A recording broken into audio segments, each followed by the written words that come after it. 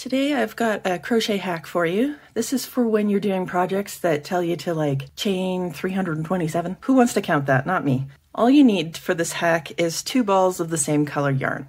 It's a big project. You're going to use more than one ball anyway, so I mean, you have it, right? So the only downside to this technique is you got two extra ends to weave in.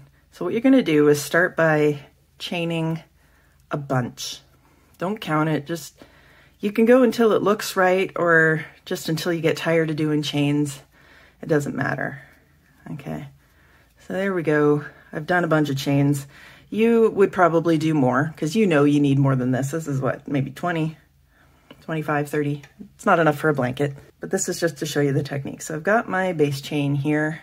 I'm gonna bring in another strand of the same color of yarn, but I'm from a different ball. I've got my end this way.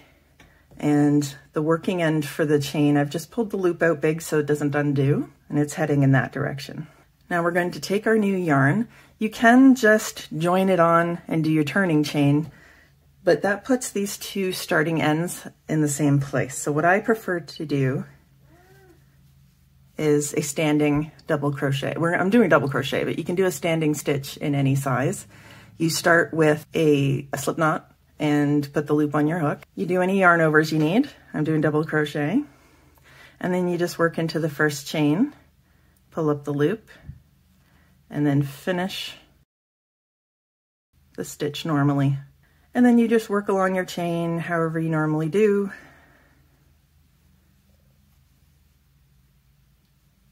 Okay.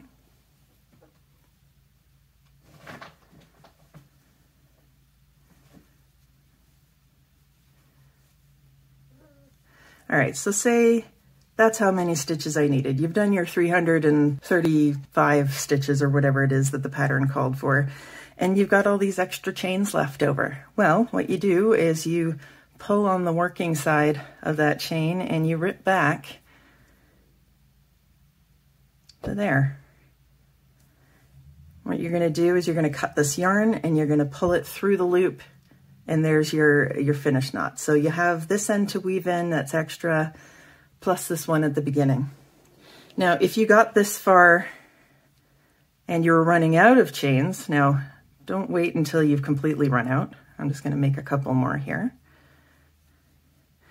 You've gotten this far, you only have a couple of chains left, but you know you need more stitches than that. So just pull this loop out big so it doesn't pull out accidentally on you. Go back to your chain and chain some more. Okay, that's all there is to it. Thanks for watching.